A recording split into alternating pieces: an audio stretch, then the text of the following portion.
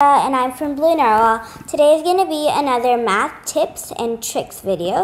Today I'm going to do 11 to 20 tables with timetable tricks. So um, I have written 15 times 8, 17 times 7, 16 times 6, and 19 times 8. I have an easy split formula to do in a few seconds. 15 times 8 is first. Circle 15 and split it between the 10 and 1's place. That is 10 and 15, of course. And then we're going to put multiplication symbols next to each of them, okay? And since 8 is the other number, we're going to multiply both of them by 8. 10 times 8 equals 80. 5 times 8 equals 40. 80 plus 40 equals 120. 120 is our answer.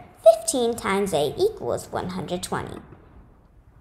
You can apply same rule between 11 to 20 timetables. Next, we're going to do 12 times 6. Then circle 12, split it again,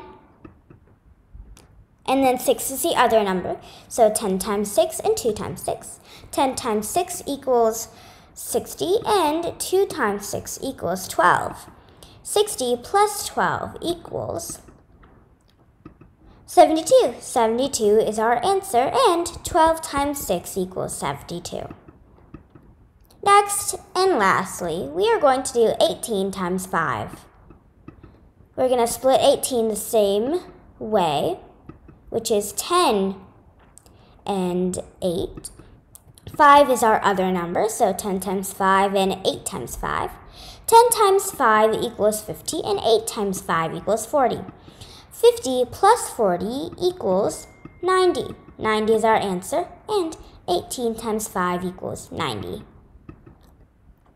Thanks for watching, everyone. So um, don't forget to keep practicing this so you never forget it. Don't forget to like, subscribe, hit the notification button, and comment on how you like this video. Bye!